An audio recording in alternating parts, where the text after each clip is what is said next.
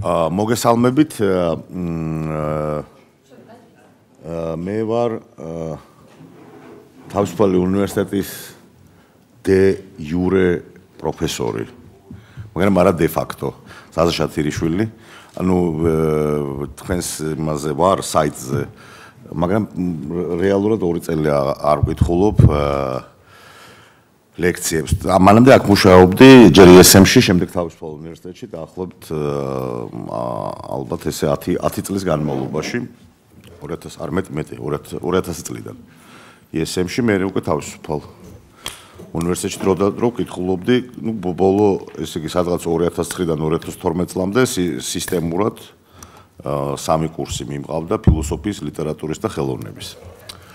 აა ჩვენ ესეთი დაახლოებით ერთი წლის წინ უკვე ჩემი წასვლის დე ფაქტო წასვლის შემდეგ ერთხელ მქონდა ესეთი აა სტუდენტების მოწვევით სამი სამხრეთ ამერიკული შუადღე საღამოს ვერ დაარქმევთ 3 3 საათი 4 საათი. და მაშინ ესეთი სამი საუბარი იყო ზედმეტად არგენტინულ ლიტერატურაზე. მაგრამ ნინო ნინო ნინომ და ამერიკა დაახლოებით ერთი სამი კვირის წინ ალბათ იქნებოდა და ესეთი თხოვნა იყო რომ აც გარდაცვლილ გაბრიელ გარსია არა აი ესე დაემთხვა რომ მარკესი მოკვდა ამასობაში ხო ხო то есть ფრადრე დამირეკა ხო ხო და მე კიდე ერთხელ ესე და ამასობაში მარკესი ჩაგვაკვდა ხელში 17 აპრილს და ესეთი სათაურით სამხრეთ ამერიკული ლიტერატურა ბორხესიდან ბორხესიდან მარკესამდე. აა შეიძლება ითქვას მე მოკლედ ის ალბათ ვარ ბოლო თაობა თაობა თაობა მოგეხსენებათ ხო როგორი რაღაცა ეს იგი ეს პირობითად ვამბობთ 20-25 წელი არის თაობასა და თაობა შორის განსხვავება. ესე იგი, როდესაც იყო სამხრეთ ამერიკული ლიტერატურის ბუმი და ესეც ქვია, შეგიძლიათ აი ვიკიპედიაშიც კი ესე ქვია, ლათინურ ამერიკული ბუმი. აა ეს არის ფაქტობრივად 60-იანი წლების ბოლო 70-იანი წლები. ეს არის ეს ბუმი და 80-იანი წლების ბოლოსკენ ეს ბუმი გადადის და ესე ვიტყოდი აი ბუმის რაღაცნაირი გამოძახილი იყო ყველაზე დიდი ესეთი მომენტი იყო როცა 1982 წელს გაბრიელ გარსია მარკესმა აიღო ნობელის პრემია. აა ეს იყო 82 წელი. მე მაშინ გახდით მე-9 კლასში და აი სწორედ მაშინ წავიკითხე მარტობის 100 წელიწადი. ესე მოხდა, ვიღაცებს უკვე წაკითხული ქონდათ და მაშინ წავიკითხე, სხვა შორის ძალიან კარგი ქართული თარგმანია, ეკუთვნის ელზა ახვლედიანს, ერთ-ერთი ალბათ საუკეთესო თარგმანია, რაც წამიკითხავს თანამედროვე ლიტერატურის. აა და შეიძლება ითქვას, რომ აი ესე იგი, აი მე ვარ ის ბოლო თაობა, რომელიც მოესწრო ამ აა აა იმას ჩემს შემდეგი თაობა უკვე ვეღარ იყო ამისი პირადი შემსწრე ამ ბუმის. ჩემს პატარები იყვნენ უკვე. ანუ ესე მოხდა რომ რაღაცნაირი თვით მხილველი და მომსრევარ მათი აღიარების მაშინ ეს ამას გეუბნებით ესე იგი 30-32 წლის წინ ეს ნუ მარკესი მაშინ იყო სადღაც 50 წლის როცა დაწერა მარტობის 100 წელი და როცა გამოქვეყნდა 67 წელს მარკესი იყო 40 წლის. ანუ ხო თქვენთვის ეს ალბათ მაინც დიდი ასაკია. მაგრამ გარსმუნებთ რომ წერილისთვის საკმაოდ ისეთი ახალგაზრდა ახალგაზრდა ასაკია გასაკუთრებით პროზაიკოსისთვის. აა ну ამ ბუმის ამ ხო როგორც გითხარით 60-იან წლების ბოლო მაგრამ რაღაცები უკვე მანამდე გამოჩნდა კერძოდ ხულიო კორტასარის ხულიო კორტასარის რომანი რომელიც ითარგმნება არ ვიცი ქართულად როგორ ითარგმნება მაგრამ ეს შეიძლება ითარგმნოს როგორც კლასობანა აა ის ცოტათი ადრე გამოვიდა აა 66-ში ერთი წლით ადრე გამოვიდა სხვა შორის ძალიან კარგი და საინტერესო მწერალია ხოსე ლესამა ლიმა, რომელიც იმ პერიოდისათვის მაინც ცოტა შეუმჩნეველი დარჩა და თარგმანებიც რო ნახოთ, საკმაოდ გვიანი თარგმნა ინგლისურ და სხვა ენებზე. მისი ესეთი რომანი პარადიზო 64, 66 წელი, 67 წელი მარკესი და დაახლოებით აი მე პერიოდში გამოვიდა მარიო ვარგას ლიოსას კიდე ერთი ნობელიანტის აა 2010-ში აიღო მან ნობელის პრემია, პერუელი მწერალია. აა ქალაქი და ზაღლები, ხო შეიძლება ესე ითარგმნოს ალბათ. აა ამავე დროს უნდა დავასახელოთ კიდე მექსიკელი კარლოს ფუენტესი, მისი არტემიო კრუზის სიკვდილი, აი დაახლოებით ამავე პერიოდშიც არის, ცოტათი შეიძლება გვიან აი 70-იანი წლები. 75 წელს იმავე მარკესმა დაწერა მეორე რომანი, რომელიც ასევე ძალიან მნიშვნელოვანია, პატრიარქის შემოდგომა, 75 წელი. აა და კიდევ აა შეიძლება დავასახელოთ ხო როგორ არა კორტასარის კორტასარის 62 62 აა ესეთი რომანი 62 ასაწყობი მოდელი ან შესაკერი მოდელი ორივე შეიძლება გადმოიცეს და რომანსაც რაღაც ესეთი ფორმა აქვს შენ და არ არის ლინეარული ჰიპერტექსტია. მაგრამ ეს მაშინ ჯერ კომპიუტერი არ იყო ხალხმინელი იყო. ეს 70-იანი წლებია ჰიპერტექსტურად არის დაწერილი და შენ თვითონ დააწყო ეს ნაწარმოები. ხო, მაგრამ აქ სირთულე ის არის, რომ აქ თუ კლასობანაში ეს მითითებულია და არის რაღაც მინიშნებები, რომ ესე ესე არა, აქ თვითონ თხრობა არის ესეთი, რომ შეიძლება დააწყო. და მართლა ძალიან საინტერესო რაღაცეთი გავს, ალბათ იცით ესეთი რეჟისორი დევიდ ლინჩი, ხო? და განსაკუთრებით, რა თქმა უნდა, მიუხედავად იმისა, რომ მანამდეც და მერეც ბევრი საინტერესო რაღაცა აქვს, მაგრამ განსაკუთრებით მალჰოლანდ დრაივი.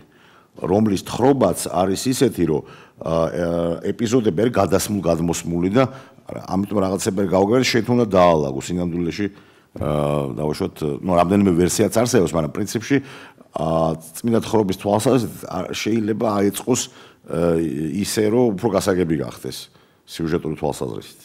დევიდ ლინჩი ბუდისტია და აქედან გამომდინარე ის ამტკიცებს, რომ ისტორია და ლინეარულობა არ არსებობს, ეს არის ილუზია. და თავის ფილმებში ცდილობს ეს გამოხატოს შესაბამისი პოეტიკური საშუალებებით, ხო, კინოპოეტიკის ენით. აა მოკლედ, მაგრამ მანამდე ესე იგი არ წარმოვიდგინოთ ისე რომ ესე იგი ეს არის ბუმი, მაგრამ ლათინო-ამერიკული წერილობა მანამდე იწყება, რა თქმა უნდა, და ეხლა წარმოვიდგინოთ ჩვენ ლაპარაკობთ რამხელა არეალზე, იცით მეგობრო, წარმოვიდგინოთ სამხრეთ ამერიკა, მექსიკა, ხო? ანუ ცენტრალური ამერიკა, უშუალებელი ტერიტორიებია და უამრავი ქვეყანაა, გესმით? უამრავი ქვეყანაა, არგენტინა, პარაგვაი, ურუგვაი, პერუ, ვენესუელა, კოლუმბია, იქით მექსიკა, გვატემალა, ნიკარაგუა, კუბა, ну ძალიან უშველებელი არეალია და ну ბრაზილიაც ემატება, რამდენიმე ბრაზილიელი წერალი მეტნაკლებად საინტერესოა, მაგრამ ну ეხლა ასეთი არ არის, მაგრამ ეს მაინც არის ესპანურ, აი ყველა ეს ხალხი ლაპარაკობს და წერს ესპანურ ენაზე, ხა ცოტა მე გადავაჭერებ, იქ არის სხვადასხვა ენებიც, მაგალითად არის გუარანი, არის გუარანის ენაზეც იწერება სხვა შორის ეს ენა არის კოლუმბიაში თუ არ ვსწრები დაახლოებით 40% ლაპარაკობს ამ გუარანიზე. ნუ მაგრამ ესე იგი ლიტერატურის ენა, ლიტერატურის ენა მაინც ძირითადად არის ესპანური ენა, ამიტომ ჩვენ ვამბობთ ეს სამხრეთ ნუ ლათინურ ამერიკული ლიტერატურა ვამბობთ და ნუ ეს ესპანურენოვანი ლიტერატურა, თუმცა ბრაზილიაც ითვლება, ბრაზილიაში პორტუგალიურად ლაპარაკობენ და წერენ. აა ნუ პრინციპში მოდით ესე ვთქვათ, ნუ დეკოლონიზაციის პროცესი მე მოგესმენთ მე-19 საუკუნის სადღაც 60-იან 70-იან წლებიდან იწყება, ყველა ეს ქვეყანა არის ყოფილი კოლონია ესპანეთის, ხო? ყველა ნელ-ნელა თავისუფლდებიან. და იბადება ბევრი უამრავი ახალი სახელმწიფო ეს პროცესი გრძელდება მე-20 საუკუნის ჩათვლითაც მოდი ესე ვთქვათ. და აი ჩდება ახალი ახალი რაღაც მთელი კონტინენტი კულტურული თვალსაზრისით მთელი ქვეყნები ჩდებიან. ზოგს უფრო ძველი ისტორია აქვს ზოგს ნაკლები და ახლა არგენტინელი არგენტინას 200 წლამდე ну აქვს ისტორია ვთქვა და ასე. და აი ამ მთელი ეს ყველაფერი, ხო? მე-19 საუკუნეშიც არიან საინტერესო მწერლები სხვა შორის. მე მე-20 საუკუნის დასაწყისიდან უკვე იწყება მართლა სერიოზული ლიტერატურა. ნუ პირველ რიგში უნდა დავასახელო, რა თქმა უნდა, რუბენ დარიო. რუბენ დარიო, ეს არის ნიკარაგუელი პოეტი, ბწყინვალე პოეტი და რომელიც არის ძალ მარკესისთვის იყო აი ძალიან მნიშვნელოვანი ადამიანი, ძალიან მნიშვნელოვანი პიროვნება, ძალიან მნიშვნელოვანი პოეტი და განსაკუთრებით ის ფიგურირებს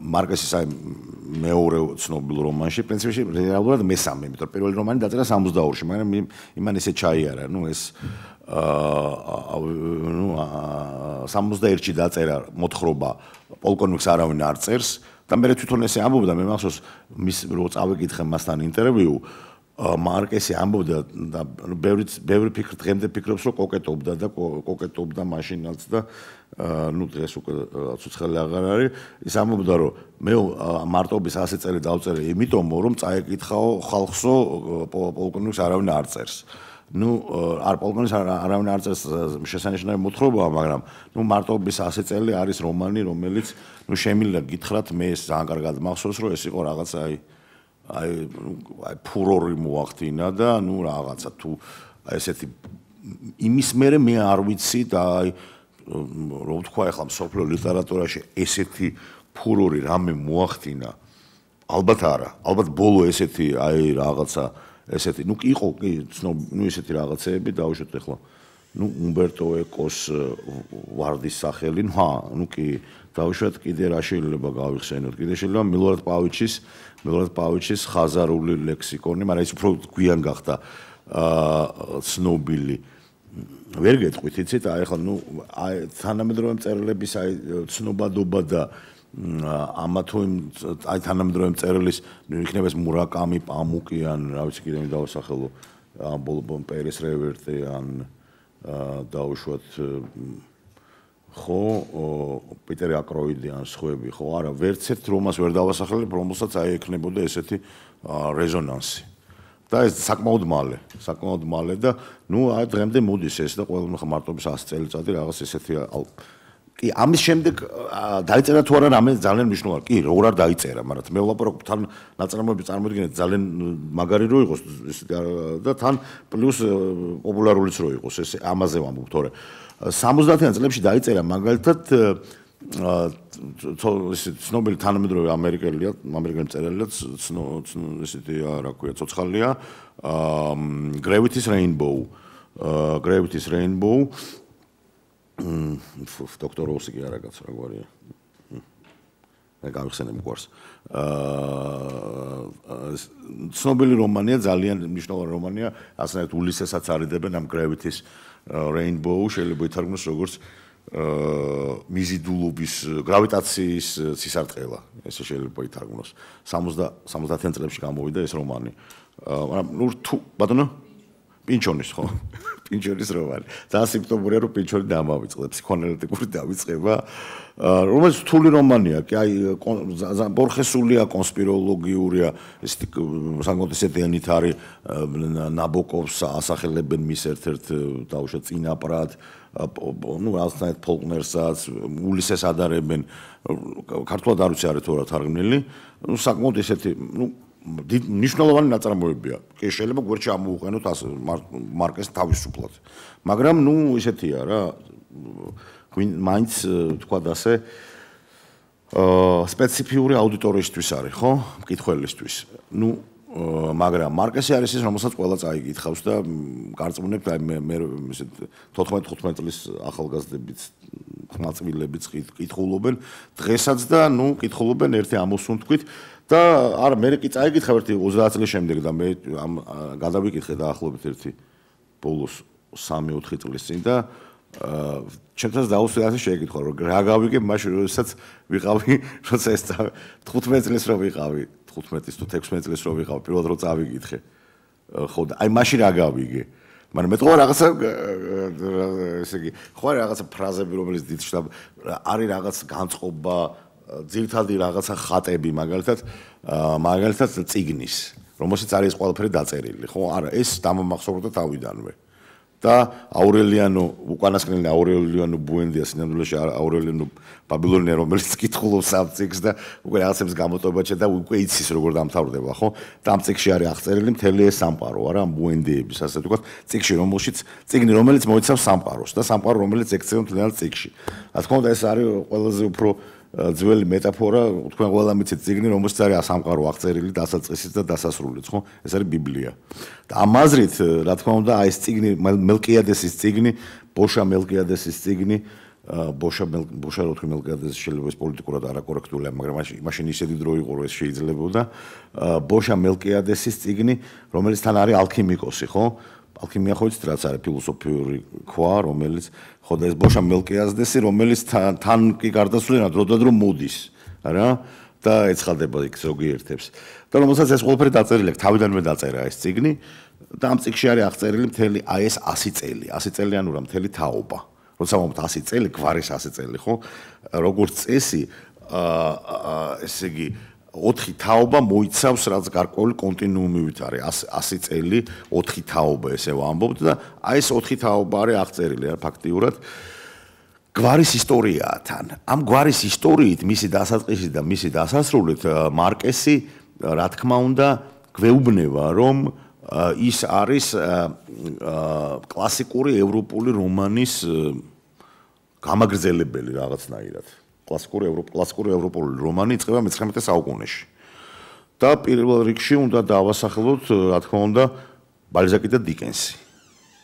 ამის შემდეგ უკვე უნდა დავასახელოთ აა ისეთი მწერლები, როგორებიც არიან ზოლა მოპასანი, აა ამავე დროს გოეთე და ვახსენოთ პრინციპში შეიძლება თქვა კიდეს რომ გოეთეს ვილჰელმ მაისტერიდან იწყება ეს ყველაფერი. აა გოეთეს ვილჰელმ მაისტერიდან მე-18 საუკუნის ბოლოა ეს პერიოდი. აა მე უნდა თავსახელოთ ესეთი გერმანელი მწერალი როგორც არის აა კელერი და მისი მწვანე ჰაინრიხი ან ახალგაზრდა ჰაინრიხი იქნება უფრო სწორი აა ახალგაზრდა ჰაინრიხი თომას მანის ბუდენბროკები. აი თომას მანი როცა წერდა ბუდენბროკეს რაღაცნაირად ის იმას ჰქონდა შეგრძნება ეს ხდება 900-იან წლებში. რომ აი რაღაცნაირად აი თითქოს კლასიკურ რომას ამთავრებს. თუმცა რეალური დამთავრება შეიძლება იყოს ჯადოსნური მთავრობა, რომელიც უფრო გვიან დაწერა, 28 წელს დაწერა. მაგრამ თელი ამბავი არის. რას მოგვითხრობს ევროპული რომანი? ევროპული რომანი, კლასიკური ევროპული რომანი მოგვითხრობს ადამიანის ჩამოყალიბებას, მის აღზრდას და ამიტომ ამას გერმანულ ენაზე ეწოდება Bildungsroman. Bildungi ფაქტობრივად ეს არის უთარგმნელი უთარგმნელი სიტყვაა. Bildung შეესაბამება იმას, რასაც ინგლისურ ენაში ქვია formation. აა აღზრდა ჩამოყალიბება. რამდენიმე რამდენიმე სიტყვა გვჭირდება ამის აღსანიშნავად. ესე იგი, როგორ ყალიბდება პიროვნება?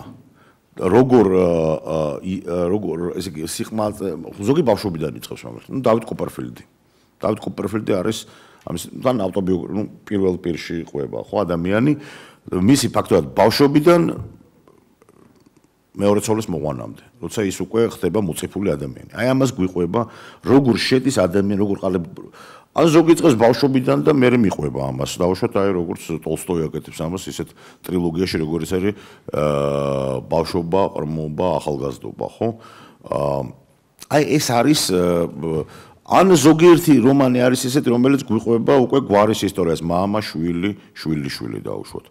მე-20 საუკუნეში ეს საკმაოდ ხშირია, მაგალითად ჰაინრიხ ბიოლის რომანი ბილიარდ um halb zehn, ანუ ბილიარდი ღამ ეს ბილიარდი აა 10-ის ნახევარზე. აა გვიყვება ერთი ოჯახის ისტორიას და ძალიან საინტერესო სიმბოლო არის ტაძარი. მამ პაპა არის არქიტექტორი, რომელიც აშენებს ტაძარს, მეორე მსოფლიო ომში შვილი ანგრევს ამ ტაძარს. შვილი ვერმახტში ვერმახტის მეორე სოფლიომის ამ ამ მეორე სოფლიომში იბრძვის და ისე მოხდება რომ ცოტა სტრატეგიულად სტრატეგიულად საჭიროა ამ ტაძრის დანგრევა.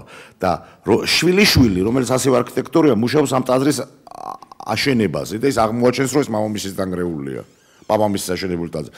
მოკლედ ეს ძალიან რაღაცით გავს მონანიების სიუჟეტს. ოღონდ განსხვავ ფილმ მონანიებას გულის ხო პაპა შვილი შვილი შვილი არა. მაგრამ აქ აი ესეთი სიმბოლო არის ტაძარი ამ შემთხვევაში, რომელიც შენდება, ინგრევა და მე ისევ შენდება. აქაც ესეთი გვარის ისტორიაა. მანამდე კიდე უფრო ადრე ესეთმა ავსტრიელმა ებრაული წარმოშობის შესანიშნავმა ავსტრიელმა მწერალმა იოზეფ ბროტმა დაწერა რომანი რადეცკი მარშ რადეცკის მარში ესე ეს არის რადეცკის მარში არის იოჰან შტრაუს უფროსის ესეთი მარში არის რომელიც სრულდება თუ მიგექცევათ ყურადღება 1 იანვარს არის ხოლმე ვენიდან გადმოიცემა საახალწლო კონცერტი და ეს არის ის მარში, რომელსაც აშთაღოლებენ ხოლმე. ესე იგი, დირიჟორი ტრიალდება დარბაზისკენ და ესე იგი, ორკესტრი უკრავს და აშთაღოლებენ. ეს არის ავსტრიის არაოფიციალური ჰიმნი. აი როგორც მაგალითად საქართველოსში ჩამოგარგო ქვეყანა. აა ესეთი ეს არის ავსტრიულ ავსტრიულ კულტურაში ასრულებს იმავე როლს, რასაც ფრანგულში მარსელიოზა. он მარსელიოზა რეალური ჰიმნია და ავსტრიელებისთვის რაზეც კი მარში ეს არის, ну მათი აი რაღაცა ავსტრიული კუსტი მენტალობის კულტურის ესეთი ყველა ну მუსიკალური გამოხატულება, ხო? აა და რომანში არის აღწერილი რა, იცით აი რაზეც კი მარში რომელიც დაწერა იოზეფ როტმა 1932 წელს, აი ერთი ერთი ოჯახის ისტორია, papa, mama, მერე შვილი. და არის აღწერილი იმპერატორი ფრანციოსების იმპერატორობის ფონზე, ეს ყველაზე დიდხანს იყო იმპერატორი თუ არ ჩავთulit ლუდოვიკო მე-14 სადღაც 68 წელი იყო იმპერატორი და თელმა ერთმა თელმა თაობამ აი ესე იგი ჩაიარა, ну папа გახდა ბარონი, მე мама აღიზარდა და მე ბოლო თაობა 1914 წელია უკვე პირველი მსოფლიო ომი აქ ეს შვილი იღუპება, მე мама კვდება და იმპერატორი კვდება ჯერ. და აი ეს ამ ამ ფონზე არის ეს ავსტრია ავსტრიის იმპერიის დაცემის ფონზე არის ეს მოცემული. ბუდენბრუკები იყო მნიშვნელოვანი იმიტომ თომას მანის რომ მან აღწერა გვარის დასასრული. ანუ უკანასკნელი ბუდენბრუკი, ჰანუ ბუდენბრუკი კვდება ბავშვი, ნუ ბავშვი, ბავშვი კვდება და ბუდენბრუკების გვარი მთავრდება. აი თითქოს თომას მანმა დაიწყო ну დაამთავრა ეს კლასიკური რომანი, მაგრამ დაიწყო რაღაც ახალი ესე იგი კლასიკური რომანის დამთავრების რაღაცა რომანი, თუ შეიძლება ასე თქვას, სადაც არის სადაც არის ნაჩვენები გვარის დასასრული. აი ეს თაობა და გვარი როგორ კი არ გრძელდება, არამედ თავდება. თუ კლასიკურში გვარი გრძელდება, ანუ თავდება იმიტომ რომ აი ცოლი მოიყვანა და გასაგებია რომ ბავშვები გაჩნდებიან, ანუ უკვე ბავშვი ჩდება და აი აქ თავდება, ხო? დიკენსი, ბალზაკი, ტოლსტოი და ასე შემდეგ, არა? აი აქ თომას მაინდან მოყოლებული და გვარი კვდება და ეს გვარის სიკვდილი დაკავშირებულია პრინციპში ისეთ რაღაცასთან როგორც არის იმპერიების დასასრული. იოზეფ როტა ნამდვილად ესეა 32 წელს დაწერა ავსტრიის იმპერია 16-17 წლებში უკვე მისი მოხდა დემონტაჟი. როტმა დაწერა რომანი 15 წლის შემდეგ. თომას მანი როცა ამას წერს პრინციპში ლაპარაკობს კლასიკური კულტურის მე-19 საუკუნეების კლასიკური კულტურის დასასრულზეც ლაპარაკობს. და რაც შეეხება მარკესი მარკესი არის ის მწერალი, რომელიც პრინციპში აპოკალიფტური მწერალია, მოდი ესე ვთქვათ რა. შეგიძლიათ შეგიძლიათ გაიგოთ ეს აპოკალიფტური აზრით, რომ თქვენ შეგიძლიათ გაიგოთ მარკესი როგორც რაღაც ბიბლიის ახალი ვარიანტი. სრული უფლება გაქვთ რომ ესე შეხედოთ. ხო? ესე იგი მისი მისი იგავური ენა, თქვა და ასე არის ძალიან უნივერსალური. თქვენ თავისუფლად შეგიძლიათ ამას შეხედოთ როგორც კიდევ ერთ რაღაც ვარიანტს და იმ სამყარო როგორც ციგნი, ციგნი რო სამყარო, სამყარო როგორც ამას აქ დასაწყისებ დასასრული, როგორც ბიბლიაში ღმერთმა შექმნა ეს სამყარო და ბოლოს არის სამყაროს დასასრული, როგორც იქ ლაპარაკა კიდე ახალ სამყაროზე, ახალ ეონზე, ახალი მიწა, ახალი ზეც, ახალი იერუსალიმი, ხო? მარკესი ამას ამაზე არ ლაპარაკობს. მარკესი არის ეს კატასტროფული ფინალი, ანუ და ესეთი მოდგმა არასოდეს აღარ მოვა ამ ქვეყნად, ესე მთავრდება, ხო? ბოლოს სიტყვები ეს არის, რომ ის generation, აი ამ გაგებით, რომელიც არის განწერული ეს 100 წელი არის თან მარტოობის 100 წელი. აი აი გვარის ეს 100 წელი არის ჩაკეტილობისა და თუ შეიძლება ასე ითქვას, მ თუ შეიძლება ასე ითქვას, არაკომუნიკაციის 100 წელი არა. და რო აღარ უნდა მოვიდეს ამ ქვეყნად ესეთი ეს ანუ ძველი სამყაროს ასასრულზე ლაპარაკობს. თქვენ ახლა თან გაითვალისწინეთ რომ მარკესი იყო კომუნისტი. თან იმ დროს ესე იგი ეს რა დროა 69 წელს ჯერ კიდევ კომუნიზმი ნუ alive and kicking როგორც ინგლისელები იტყვიან ნუ ცოცხალია და ტოკამს კახურად რო თარგმნოთ ესე იგი 72 წელს გამოვა გულაგის არქიპელაგი გულაგის სოლჟენიცინი რომელიც კომუნიზმის იდეას რო იტყვიან ძალიან აი გულში გულში ლახვარს თუ რა ვიცი ვამპირს როგორც აი მას ჩასხებენ ის მაგრამ ეს კიდე ამ იმედით აი არა ამ რომანში ესენი ძალიან ისია თქვა და ასე მამში ეს ეს შეიძლება არც არის ეს ყველაფერი მნიშვნელოვანი მაგრამ თვითონ მნიშვნელოვანი არის ეს რომ მარკეს ჰქონდა იმედი 82 წელსაც ჰქონდა იმედი რომ აი რაღაც ახალი სამყარო და ფიდელ კასტროს მეგობარი და რაღაცა და ნუ ბოლომდე რაღაც მეტნაკლებად მე მემარცხენე ადამიანად მოკვდა და ნუ გასა ნუ რაღაცნაირად მემარცხენეობა მაინც რაღაც უცნებას ნიშნავს თუ თუ მემარჯვენეობა რაღაცნაირად უფრო დაკავშირებულია სოციალურ დარვინიზმთან და სამყარო სხოლთა სამყაროში მიმდინარე არსებობისათვის ბრძოლასთან რომელსაც ისტორია არ აქვს იმიტომ რომ ცხოველ სამყაროში არა რევოლუცია, მაგრამ არა ისტორია. აქედან გამომდინარე უცნებაც არ არის, იმიტომ რომ უცნება ადამიანური ფენომენია. აქედან გამომდინარე თუ აი ეს რაღაცა ეს უცნების მომენტი აი ეს რაღაცა dream არის ამ მარკესთან, რომ აი ეს რაღაცა ეს სამყარო დამთავრდა, ახალი სამყარო შეიძლება დაიწყოს. ან შეიძლება არ დაიწყოს. აა ყოველ შემთხვევაში მარკესი ამაზე არაფერს გვეუბნება, მაგრამ ყოველ შემთხვევაში აი ამას ამას აღწერს და აღწერს რაღაც სულად ფანტასტიკური ენით და ესე იგი შეიძლება ითქვას, რომ რომანის დასაწყისიც გახსოვთ ალბათ, ხო?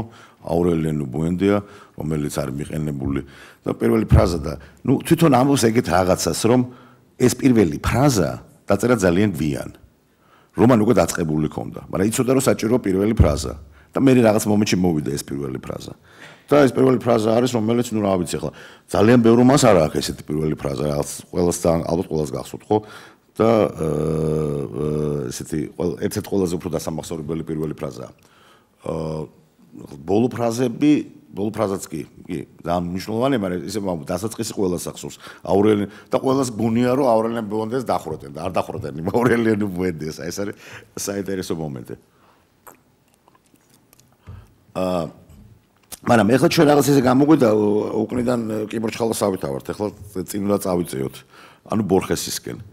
უნდა გითხრათ მეგობრებო რომ ერთი საოცარი რაღაცაა რომ თუ თქვენ გადაავლებთ თვალს აი რაღაცნაირად შეხედავთ აი ამ სამხრეთ ამერიკული ლიტერატურა და ბუმი და ასე შემდეგ ნი კი ნუ ფორმალურად ბორხეს ახსენებენ ხოლმე. მაგრამ რეალურად ეს სიტუაციაა რომ აა ნუ ბორხესი თან მიეკუთვნება ამ სამხრეთ ამერიკულ ლიტერატურას, თან არ მიეკუთვნება ამ სამხრეთ ამერიკულ ლიტერატურას, იმიტომ რომ თვითონ არ ქონდა ესეთი აა self identification, რო ვთქვა. ესეთი თავის თავის ესეთი იდენტიფიკაცია, რო ის არის სამხრეთ ამერიკელი მწერალი. აი რომ და კი არგენტინელი არის, რა თქმა უნდა, მაგრამ ერთდროულად ბორხესი იყო თან უნივერსალისტი, თან აი ბუენოს აირესელი. აი წარმოიდგინეთ ადამიანი რომ იყოს თბილისელი და თან იყოს უნივერსალისტი. აა ბორხესი ძალიან ბუენოს აირესის წერალია. იმდენად ბუენოს აირესის წერალია რომ შეგეშინდებათ. ეს რომ გადმოვთარგმნოთ თბილისურ ენაზე, აა რა ძალიან შემაშენებელი წერალია, იმიტომ რომ ბორხესი უმღერის ორ რაღაცას. ერთი მხრივ უმღერის სამყაროს, თქვა და ასე აა სირთულეს იმ თვალსაზრისით რომ სამყარო არის მრავალგანზომილებიანი, როგორც გიადვალი იყო და აა მაგრამ მთელი ამბავი არის ეს რომ მიუხედავად ამ თავის მრავალ განზომილებისა ის მაინც ეტევა ტექსტში. ციგნი როგორც სამყარო და სამყარო როგორც ციგნი ესეც არის ბორხესისთვის ძალიან დამახსნებელი. სამყარო როგორც ბიბლიოთეკა სამყარო როგორც ციგნი საიდან მოდის ახლა ეს? და აქ აქ კიდე უკან უნდა დავიწევ და უნდა გითხრათ ეგეთი რაღაცა რომ მე დროდადრო რომ მიჩნდება ესეთი როგორ ვთქვათ ერეტიკული აზრი ჩემს თავში მებადება ხშირად ესეთი აზრი, რომ თითქოს ყველა რაღაც თითოეულ ლიტერატურას აქვს რაღაც თავის თავი მეტაფორა. აა აი მაგალითად თუ ავიღებთ აა ფრანგულ ლიტერატურას რა მოლიერიდან მოყოლებული თითქოს ამ ლიტერატურას განსაზღვრავს რეალურისა და წარმოსახვითის ურთიერთმიმართება ნიღბისა და რეალობის. აა მოლიერმა და მოგცა ეს თემა, სადაც მის ბევრ პიესაში, განსაკუთრებით ეს ცნობილ პიესებში არის ეს თემა, როგორ არ შეესაბ აი წარწოფი ან ძალად ექიმი, ან ძალად დაამტყოფი, ხო, აი რეალობისა და რეალობისა და ან თუნდაც ისა რო ავიღოთ, რა ქვია, აა მის ცნობილი რომ რომ ისა პიესა ჟურდენი სად არის? ეს მის დამავიწყდა. მიშა გამახსენე ერთი იმას რა ქვია? ჟურდენი ჟურდენი აღმოაჩენს რომ პროზით ლაპარაკობს. როგორ მე ჩემ მოახლოს რომ ვეუბნებიო აა რა ქვია კოზეთ ტუფლები მომით ჩუსტები მომიტანეო ესო პროზააო ეს მასავლებელი უხსნის გაზნაურებული მდაბიო გამახსენდა ნუგზარციკლაური უნდა გამახსენდებოდა. ნუგზარციკლაურიდან გამახსენდებოდა. ესე იგი, გაზნაურებული მდაბიო.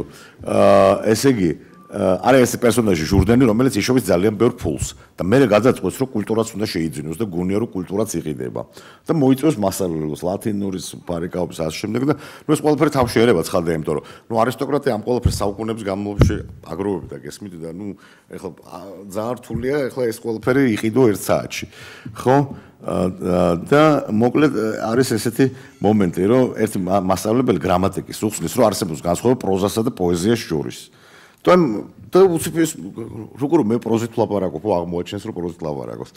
მოკლედ აი ეს თემა რეალობისა და მისი ასე ვთქვათ ნიღბის ის რაც გვეჩვენება რომ რეალობა ან მოჩვენებით რეალობის არის ფრანგული ლიტერატურის მოყოლებული ბალზაკდანაც ეს თემა შემდეგ პრუსთან ეს არის რაღაც ობსესია ეს თემა თუ ამ ხრივ შევხედავთ, აი მაგალითად ქართულ ლიტერატურას, ხო? აი მაგალითად ბორხესი, რომელსაც უყვარდა ვებხვები, მის საყვარელ პერსონა რატო იცით თან, ყველა ბორხესი ბრმავდებოდა 40 წლის ასაკიდან. მისი მამაც, ბაბუაც ბოლოს საერთოდ დაბრმავდა.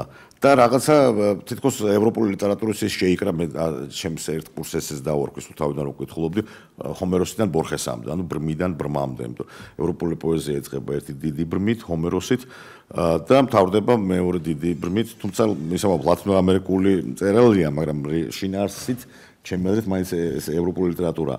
ა ბორხესით. ყველა ბორხესი მავდებოდა დაახლოებით 40 წელს ასაკიდან კარგავდა მხედველობას და თვითონ ეს ბოლ ჩვენი ბორხესი ხორხე ლუის ბორხესი თავის ერთ ლექსში ამბობს და ინტერვიუში რომ აა ეხლა ვებხვი რატო? ეხლა ვებხვი პირველად პირველად რო ნახა ვებხვი შვეიცარიაში მამამის მააჩვენა ციურიხში თუ ლოზანაში არ მახსოვს რომელიღაც ზოოპარკში ეს ყვითელისა და შავის მონაცვლეობა და აი ეხლა რო ბრმავდები ორ ორ ფერს ვარჩევო შავს და ყვითელსო ასე ნუ ვეფხვის პერებს. ხო და აი ბორხეს რო წაიკითხა ქართული ლიტერატურა, ნუ რაღაც ლიტერატურები არ იცოდა მიუხედავად იმისა, რომ ბევრი ლიტერატურა იცოდა, თვითონ რომ აი უნგრული ლიტერატურა არ ვიცი საერთოდ. ამ დროს უნგრული ლიტერატურა საკმაოდ მნიშვნელოვანი ლიტერატურა, მალაური არ ვიციო კიდე ამ დროს. ამ დროს მალაური ლიტერატურაში არის არაჩვეულებრივი პოეტი სუფისტი ხამზა ფანსური, რომელიც მას ძალიან მოეწონებოდა ბორხეს. ისე როგორც უნგრული ლიტერატურაში არის ძალიან ბევრი კარგი პოეტი და მწერალი, რომელიც ასევე მოეწონებოდა. ნუ თან არ ქონდა წაკითხული ისა, რა ქვია, ქართული ლიტერატურა და აი რო წაიკითხა ეს ყველაფერი ბორხეს ალბათ იტყოდა რომ ქართული ლიტერატურის თავი პერსონაჟი, თავი მეტაფორა ხატი არის ვებხვი. რა თქმა უნდა. მაგრამ მე რო გააგრძელებდა, მე ნახავდა რომ მე-19 საუკუნეში რაღაც სერიოზული ცვლილება მოხდა და ვებხვი კი არ არის, ამიტომ არის მერანი. ანუ ცხენი. რომელმაც ძალიან ბევრი რაღაც შეცვალა ჩვენს ლიტერატურაში, მათ შორის უკანა ხაზითაც, როცა ძალიან დიდი პოეტი მოდის, შეიძლება წარსული შეიცვალოს. ეს სხვა შორის ბორხესის თემაა, სადაც ერთ-ერთი პერსონაჟი ხედავს თავიდან. თავის ერთ ეპიზოდს, სადაც ის სამარცხვინოდ მოიქცა და აგონიის დროს ხედავს, რომ ეს თავიდან მეორდება ეს ეპიზოდი და იქ ვაშკაცურად მოიქცევა. და უკვე ყველას ახსოვს ამის სიკვდილის შემდეგ ყველას ახსოვს ისე როგორც აი აგონიის დროს ამას დაესიზმრო თქვა და ასე. და ეს სიზმარი მე ყველა ყველასათვის იქცა რაღაცნაირად რეალობად. ამას ქვია ისიდორო კრუსის მეორე სიკვდილი, არაგერიოთ არტემიო კრუსის სიკვდილში. აა ხო და იტყოდა რომ აი მე მერნის შემდეგ ბევრი რაღაც შეიცვალა ხო? ანუ ლურჯაცხენები და ასე შემდეგ არა? ანუ აი ლიტერატურა რომელიც იყო დაბადებული ვეფხვის ლიტერატურად გადაიქცა მერნის ლიტერატურა ქართული ლიტერატურა. აა დაუშვათ რომ და აი რას მომობ ესპანური ლიტერატურა რა თქმა უნდა რა არის? რა არის ესპანური ლიტერატურის თავი თემა? ეს არის ციგნი ციგნი როგორც რეალობა და ციგნი როგორც სამყარო. საიდან იწყება ეს ყველაფერი? აა იყო ესეთი ადამიანი ალონსო კიხანო, რომელიც 70 წლის ასაკში ჭუიდან შეცდა იმდენი წიგნი წაიგითხა განსაკუთრებით რაინდებზე და დაირქვა დონ კიხოტი. და დაიწყო აი წიგნების მიხედვით ცხოვრება, ანუ გავიდა თავის ლამანჩაში, პროვინცია, მე არ მარტო ლამანჩაში, არა და იქცეოდა როგორც საშუალო საუკუნეების რაინდი. ერთხელაც ამ რაინც დონკიხოც ძალიან მაგრად გალახავენ და ერთი თავისი მეზობელი სოფლელი კაცი იცნობს. კაცო ესო ის არის ჩვენებური კაცი არისო და მიიყვანენ სახლში და გონება აქ დაკარგული და მისი ორი მეგობარი ერთი არის მუხდელი და მეორე არის პარიკმახერი გადაწყვეტს რომ ამ წიგნებმა გააგიჟაო და ეს ლიტერატურის მაგის ბიბლიოთეკა უნდა გადავალოგოთ რაღაცებს რაღაცებს წვავენ, რაღაცებს ტოვებენ. და აღმოაჩენენ აი ეს რაღაც წიგნებს გადაყრიან, იმას გადაყრიან, ამას გადაყრიან და რაღაც ამადის გალელი იქ რაღაც იქ ვირგილიუს დატოვებენ, ჰომეროს ნიჩო შეიძლება რაღაცა და უცებ აღმოაჩენენ რომ დონ კიხოტის ბიბლიოთეკაში არის ესეთი წიგნი, სერვანტესის გალატეა. ანუ დონ კიხოტი, პერსონაჟი არის კითხველი ავტორის სერვანტესის. და აი აქედან დაიწყო ეს. ციგნი როგორც სამყარო და სამყარო როგორც ციგნი და აა ავტორი როგორც საკუთარი ნაწარმოების პერსონაჟი. და რამდენიმე საუკუნის შემდეგ მიგელ დე უნამუნო არის ეგეთი ესპანელი მწერალი მე-19 საუკუნის, იქ არის აქვს ეგეთი რომანი ნისლი, სადაც ერთი პერსონაჟი მიხვდება, რომ ის არის პერსონაჟი და მიდის ავტორთან, უნამუნოსთან. და გამათავისუფლეო და არაფერი გაგათავისუფლებო შეიძლება მოკვდეო და ბრუნდება ეს პერსონაჟი პერსონაჟი სახში და კვდება არაფრისაგან. იმიტომ რომ ავტორმა ესე მიუსაჯა. აი ეს ეს არის თავარი თემა ესპანურ ესპანურ ენოვანი ლიტერატურის დაწყებული დონ კიხოტი დონ კიხოტი ესე იგი სერვანტესი ებძოდა ჯადოქრულ ჯადოსნურ რომანებს და როგორც ბორხესი იტყოდა უარესი ჯადოქრობა შექმნა. ანუ ცხოვრება სიზმარი არა ცხოვრება შეიძლება იყოს არა მარტო სიზმარი არამედ ჩვენი ცხოვრება შეიძლება იყოს წიგნი რომელშიც ჩვენ პერსონაჟები ვართ. და აი ეს თემა არის ბორხესის ისევე მეორებ ბორხესისათვის ერთ-ერთი უმნიშვნელოვანესი თემა და მე ესე ვიტყოდი რომ აა მე ესე ვიტყოდი რომ თუ შევხედავთ აი ასე ამ შემოქმედებას ესე იგი თლიანად თელ ესპანურ ენულ ლიტერატურას მაშინ თავარ მეტაფორა იქნება ცხოვრება როგორც ციგნი და ციგნი როგორც ცხოვრება და ან ანუ ბორხესის შემოქმედება იყოფა ორ ნაწილად. პირველი ეს არის აი ეს, რაზეც ახლა მიგითხარით, ცხოვრება როგორც ციგნი და ციგნი როგორც ცხოვრება. მეორე თემა არის ბუენოს-აირესი. ბუენოს-აირესი. ბორხესი დაიბადა ბუენოს-აირესის უბანში, რომელსაც ქვია პალერმო. თქვენ ალბათ ახლა რას გეუბნებათ, ეს სიტყვა პალერმო არის სიცილიის დედაქალაქი. სიცილია ჩემი თაობის ადამიანისთვის და დღესაც ყველასთვის ალბათ დაკავშირებულია ისეთ რაღაცასთან, როგორც არის Godfather, როგორც არის მაფია და ასე შემდეგ, ხო? ზუსტად ამიტომ ქვია პალერმო ამ უბანს არგენტინაში, რომ აიქ ცხოვრობდნენ ძველი ბიჭები და მაგარი ავტორიტეტები. თვითონ ბორხესი დანის მაგარი ქნება რო იცოდნენ. თვითონ ბორხესი იყო დედიკოს ბიჭი, მაგრამ გიждდებოდა ამ ქურდებზე და ავტორიტეტებს. და პირველი რომანი დაწერა, პირველი მოთხრობა დაწერა კანონიერ ქურდზე. პალერმოელ კანონიერ ქურდზე. და ბებიამის გაგიჟდა, რა რა კულტურული კაცი მგონი ხარ, დედა ყავდა ინგლისელი. და ყავდა ინგლისელი, როგორც თვითონ ამბობს, ჯერ ინგლისურად დაიწყო ლაპარაკი და მე ესპანურად და ნუ ბილინგვისტი იყო რა სერიოზული ორი ორი ენაზე. მაგრამ სუბლიმაზე წერდა რა ქვია, ესპანურად წერდა. მაგრამ გიждდებოდა აი ამ და დაწერა ეს რა ქვია, პირველი მოთხრობა. ცოტა ხანში დაურეკა ერთმა ახლობელმა. არჩო მე შენ კლასელი ვარო და ეს ამას თავიდან ვალუდე ჯინჯარაძე დაემართა რა ნუ ვერიც ნუ და ნუ მოგლეთ კარგო შეგხვდებოდა გაიხსენა ეს ტიპი სხედან კაფეში სვამენ რაღაცა და უცბესტე პეუბნება. რაცო შენ იქ რო გაქო რომ ამ მარჯვენა მხრიდან ურტყამსო დანასო. ეგ არ არის სწორი მარცხენა მხრიდან მარჯვენა მხრიდან ვერ დაარტყამდაო. არ არსებობს და მარცხნიდან საიდ შენო საიდანაც ბიძაჩემი იყო და ცაცია იყო ეს ტიპიო. ნუ შემდეგი მოთხრობა ამაზე აქვს. რო აი და ნუ ეს რისკმა მე და მოკლედ ბორხეს შემოქმედება შედგება ორი ორი ორი ნაწილისაგან. ესე იგი ორი თემა მთავარი ერთი არის აი ეს რაც გითხარით მეორე არის ბუენოს-აირესი და ბუენოს-აირესული ხასიათი. და აქვს ეგეთი ნაწარმოები რომელსაც ქვია არგენტინული ხასიათი და მე როს რო წავიკითხე მახსოვს რომ მე ყველაფერს ყველაფერს მივხვდი საქართველოსზე და რატომ არ გამოვაკ ლიბერალური დემოკრატია? და არც არის საჭირო სოციალს ეს ნუ ჩემ პირადი აზრია. მოკლედ არგენტინულ ხასიათში ბორხესი ამბობს შემდეგ რაღაცას. რომ ჰეგელსო სადღაც უწერია რომ ესე იგი სოფლიო სოფლიო გონიო მთავრდება სახელმწიფო ნუ სახელმწიფო არის ყველაზე მნიშვნელოვანი და არგენტინელისთვის ესო არის აბსოლუტურად გაუგებარი რაღაცა იმიტომ რომ მაგალითად არგენტინელს არგენტინელისთვის ყველაფერი არის კონკრეტულია. თუ ის პარავს მეორე ადამიანს ეს არის ქურდობაო და თუ სახელმწიფოს პარავს ეს არაფერი არ არის იმიტომ რომ სახელმწიფო მისთვის საერთოდ არ არსებობს ესეთი ფენომენია აი მაგალითად ჰოლივუდის ბევრი ფილმებიო განსაკუთრებით ერთი ამ ფილმებიდან ნუ არგენტინაში არანაირი წარმატებით არ სარგებლობს და საერთოდ კადე ახლა ყვება რა რა ტიპის ფილმებია ჯერ კიდევ მაშინ იღებდნენ ნუ პოლიცია ნუ რაღაცა ბანდა არის რომელშიც პოლიციელები ჩანერგავენ ერთ ტიპს. და ნუ მე ბოლოს ეს ტიპი რომელიც არის ჩანერგილი ჩააბარებს მოკლედ პოლიციას ამ თელ ბანდას და რაღაცა და არგენტინელის არგენტინელისთვის რომლისთვისაც მეგობრობა არის რელიგიაო, ასეთი ადამიანი არის ნაძირავაო. აქედან გამომდინარე რომ სრულად შეუძლებელია რომ ესეთმა მოკლედ ესე იგი რა გითხრათ რა ბორხეს იყო ესე იგი რასაც იტყვი კურდული თანამედროვე ენაზე რომ თქვა ჩვენებურად ესე იგი რასაც თქვი კურდული ბენდალობა და ერთი რაღაცა უნდა გითხრათ თქო რომ ეს მარტო ბორხეს არ ეხება. საერთოდ არგენტინული ლიტერატურის მთავარი ნაწარმოები არის მარტინ ფიერო. რაზე არის ხალხის ნაწარმოები? ერნანდესის მე-19 საუკუნეში არის დაწერილი. არის ერთი გაუჩო, რომელსაც გამოეკეთება გამოეკეთება პოლიცია.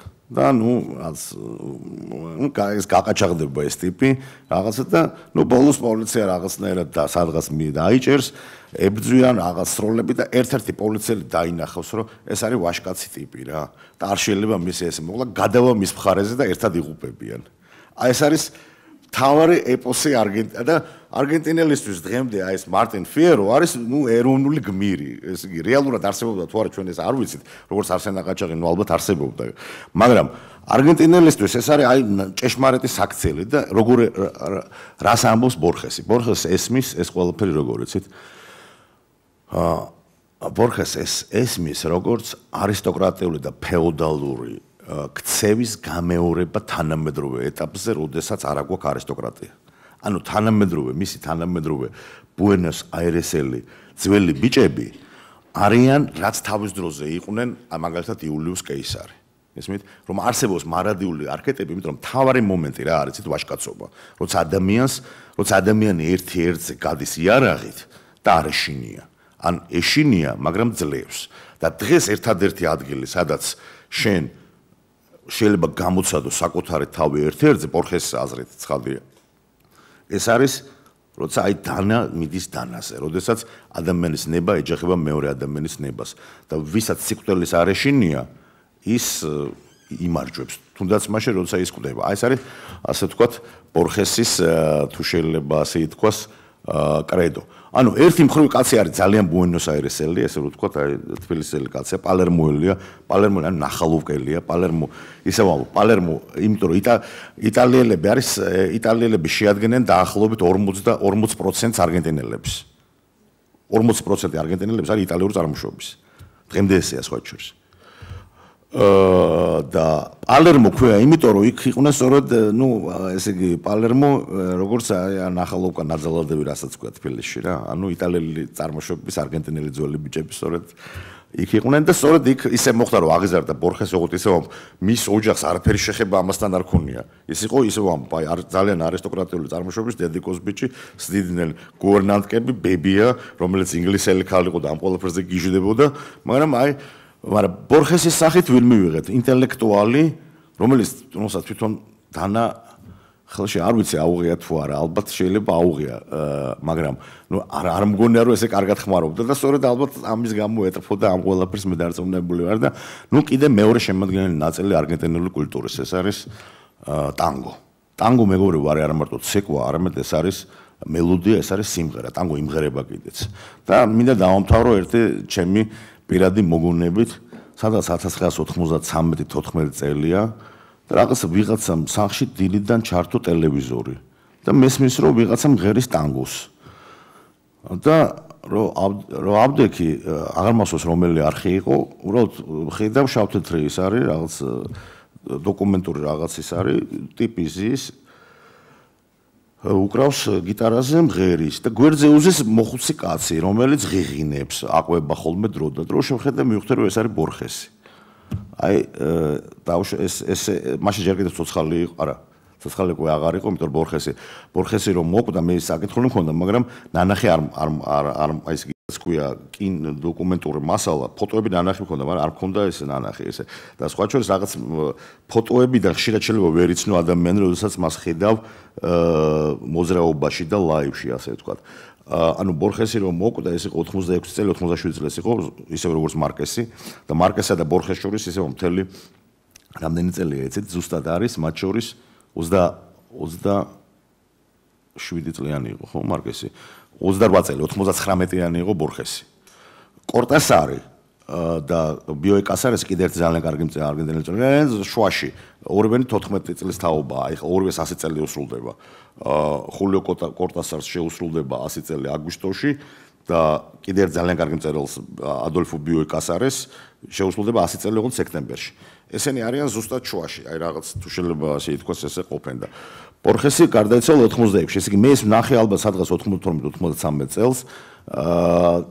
და და ეს მოღიღინე ბრმა ბორხესი უკვე უკვე ისეთ ასაკში არის რომ უკვე ვერაფერს ვერ ხედავს. და საბოლოოდ ხომ თლად ესე არ დამთავრებულა. ჩემმა ერთმა მეგობარმა ამას წინათ რომელიც არის არგენტინული ფეხბურთის გიჟი აა სრული და ამავე დროს ძალიან უყვარს არგენტინული ლიტერატურა ჩასული იყო არგენტინაში, კერძოდ ბუენოს-აირეში და ნუ იქ რო დაინახეს რა ქართველმა ესე იცის, ნუ რას რას აჩუქებდნენ? აჩუქეს აჩუქეს ბორხესის ფოტო, რომელიც არის და და ისა და მისი ავტოგრაფი. და როცა ჩამოვიდა, დამირეკა ერთი სერიოზული ის უნდა იყისრო, რომელიმე რესტორანშიო, რამდენ მე უნდა დამპატიჟო და ვიღაცა და რაღაცა უნდა გააჩუქო. ხო და ნუ მე ბოლოს მაჩუკა ესე იგი მითხარ რომ აი ამიტომ დააგიძახეო და ეს მაჩუკა ამიტომ მე მგონია რომ შენ უფრო გეკუთვნის ვინმე მეო ეს პორხესის ავტოგრაფიო რომელიც ახლა სახში მიგიდია ამით მინდა დავასრულო ჩემი დღევანდელი საუბარი და თუ რამე შეკითხვებია